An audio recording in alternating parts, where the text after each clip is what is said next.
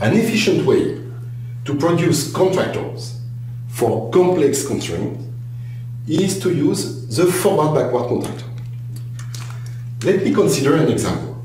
x1 plus x2 times x3 belongs to 1, 2. I want to build a contractor associated with this constraint. First, I will build the syntactic tree associated with this constraint. So I will now show what is a syntactic tree.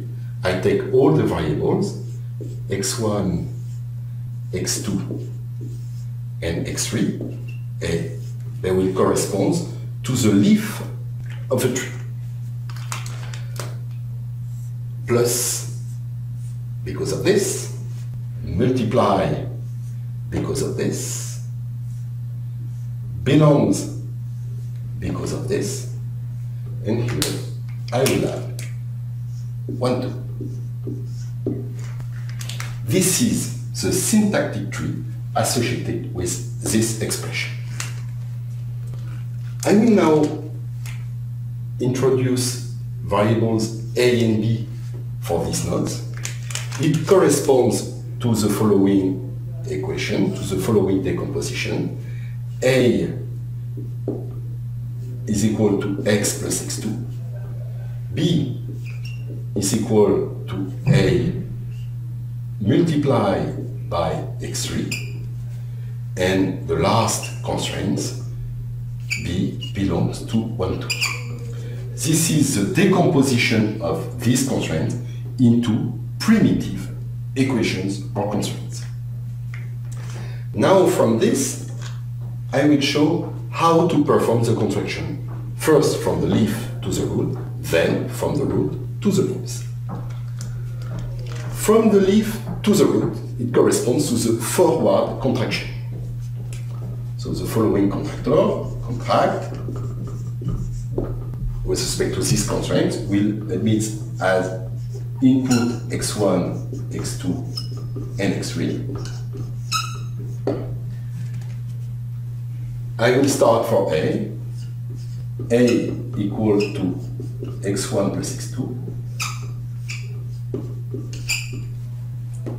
B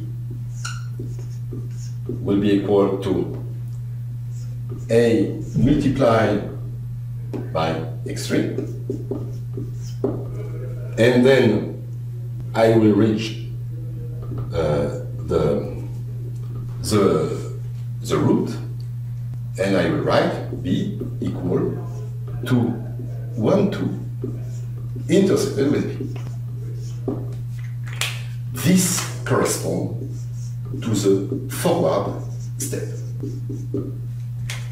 Now I will go from the root to the leaf.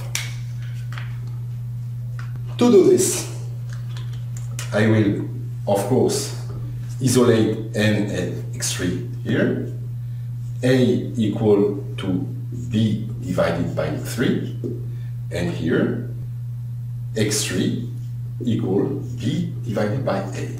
So the corresponding contraction will be written here. a equal to a intersected b divided by x3. Here, because of this, I will write x3 equal to x3 intersected with b divided by a. Now, I reach a.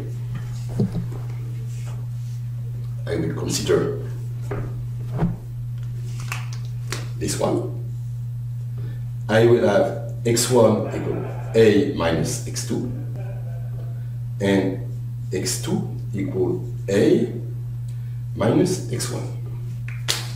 So the corresponding contraction will be x1 equal to x1 intersected with a minus x2 because of this, and x2 equal x2 intersected eh, with a minus x1. This operation corresponds to the backward step. Forward, backward. In our particular constraints, since x1, x2, x3 occur only once in the expression of the constraint, the corresponding contractor will be minimal.